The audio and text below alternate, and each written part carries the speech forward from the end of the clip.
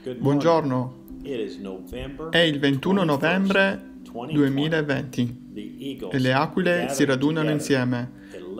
La lettera del fratello Joseph Branham dal tabernacolo Branham.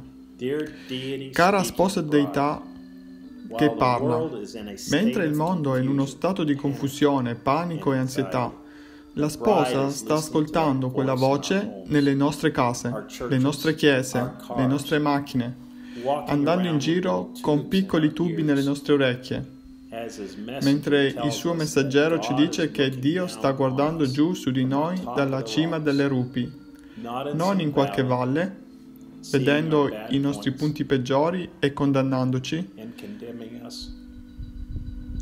ma vedendoci come Egli vuole vederci, alla sommità del suo amore e misericordia. Siamo da soli con Lui, dicendogli che non ci serve consiglio da qualche concilio, abbiamo il così dice il Signore in mezzo a noi. Prenderemo posizione come Giosuè e Caleb. Stiamo arrivando in vista della nostra terra promessa, come loro fecero in quel giorno. Egli ci ha detto che Giosuè significa Geova Salvatore e rappresenta la guida del tempo della fine che verrà alla Chiesa, come anche Paolo venne come guida originale. Noi rappresentiamo Caleb, coloro che rimasero fedeli con Giosuè. Giosuè era un profeta mandato da Dio. Dio pose tutta la guida nelle mani di Giosuè perché lui era rimasto con la parola. Dio poteva aver fiducia di Giosuè, ma non negli altri. Egli disse che si ripeterà in questo giorno della fine.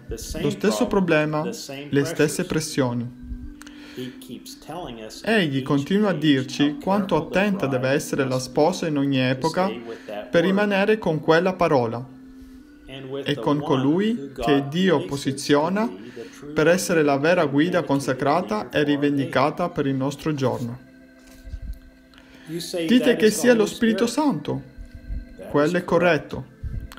Ma Dio ha promesso in quest'ultima epoca che ci avrebbe mandato il suo settimo angelo messaggero per guidare il suo popolo, proprio come fece ai giorni di Mosè proprio come egli fece in, ogni epoca. Dio non cambia mai, il suo programma rimane sempre lo stesso. Ora qui riceviamo un avvertimento scritturale. Non fu nei giorni in cui Dio rivendicò Mosè che Core sorse e contrastò quel potente profeta? Lui disputò con Mosè e affermò di avere altrettanto da Dio per guidare le persone e che altri condividevano la rivelazione divina tanto quanto Mosè. Lui rinnegò l'autorità di Mosè. Oggi quello spirito dice non puoi credere ad ogni parola sui nastri. Sei fuori dalla parola se credi quello. C'è differenza tra la Bibbia e i nastri. Qui devo proprio dire che siamo come gli Efesini in passato. Noi conosciamo la parola che il fratello Brana ci ha insegnato. Crediamo ad ogni parola che ci ha insegnato. Non sono le sue parole, ma le parole di Dio pronunciate attraverso di lui, proprio come Paolo. Guardavano negli occhi quei falsi apostoli e dicevano, tu non stai dicendo ciò che ha detto Paolo? Tu sei quindi falso. Oh, quello infiamma il mio cuore. Tornate alla parola. Non siete veramente voi che mettete alla prova l'Apostolo? È il profeta e l'insegnante.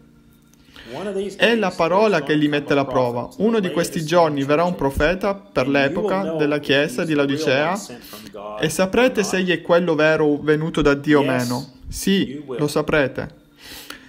Perché se lui viene da Dio, egli sarà in quella parola esattamente come Dio la diede a Paolo. Lui non devierà da quella parola per un momento, neanche di uno iota. In quest'ultima epoca, quando ci saranno molti falsi profeti che appariranno, osservate, vedete come continuano a dirvi che se non credete a loro e ciò che loro dicono sarete perduti. Ma quando quel profeta dell'ultimo giorno verrà sulla scena, se lui sarà davvero quel profeta, lui griderà, tornate alla parola o siete perduti. Lui non edificherà su una rivelazione o interpretazione personale, ma sulla parola. Amen e amen. Quindi qual è la parola per il nostro giorno? Solo la Bibbia e non i nastri? Ora Paolo lo stava dicendo sul suo uditorio ebreo. Ora loro non avevano registratori come noi abbiamo qui oggi, ma avevano scribi che erano seduti là lo annotavano proprio come Paolo lo predicava. E questo è ciò che avviene proprio qui. Lo stiamo facendo tramite registratori e questi nastri vanno in tutto il mondo, vedete, per mostrare che ciò è la verità. La nostra religione non è vana, essa è assolutamente Gesù Cristo risorto, la stessa cosa. Ora non dobbiamo ignorarlo. Questo l'ha detto il fratello Brana l'1 settembre del 1957 nel, nella predicazione ebrei, capitolo 3. Eccolo là, affinché tutti lo leggano e ascoltino, come fecero ai giorni di Paolo, quando avevano solo scribi. Oggi noi stiamo ricevendo quella stessa parola tramite i registratori quanto possono essere ciechi e mancanti di rivelazione? Poiché noi crediamo ad ogni parola e stiamo diventando quella sposa parola pienamente manifestata che Egli ha promesso sarebbe arrivata. Siamo carne della sua carne, ossa delle sue ossa, spirito del suo spirito. Siamo la sua sposa parola che produrrà le stesse opere che produsse Gesù. Quando un uomo nato dallo Spirito, riempito di Spirito, prende in fede quella parola nel suo cuore e la pone sulle sue labbra, ebbene, quella è la deità stessa che parla. Ogni monte deve spostarsi. Satana non può resistere davanti a quell'uomo. In che tempo meraviglioso stiamo vivendo. Siamo calmi, rilassati e senza timore. Ogni monte deve spostarsi. Satana non può resistere davanti a noi.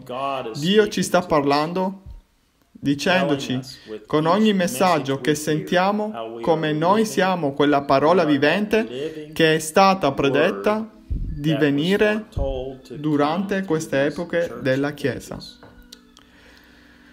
Se vuoi ricevere le più grandi benedizioni di ogni tempo, Sentire la più grande rivelazione che sia mai stata detta fin dalla fondazione del mondo, unisciti a noi domenica alle 2, orario di Jeffersonville, per ascoltare l'epoca della chiesa di Pergamo 60-1207, fratello Joseph Brana. Questo conclude la lettera del fratello Joseph Brana dal tabernacolo Brana di Jeffersonville, Indiana, e le scritture da leggere in preparazione prima di ascoltare il sermone, l'epoca della chiesa di Pergamo, sono Numeri 23, versetto 8 e 9, Apocalisse 2, versetti dal 12 al 17, capitolo 17, dall'1 al 5, e capitolo 17, versetto 15. Fino alla prossima volta, che Dio vi benedica e vi incontrerò domani insieme intorno al mondo alle 2, orario 2 di Jeffersonville. Non posso riuscire ad aspettare quasi. Che Dio vi benedica.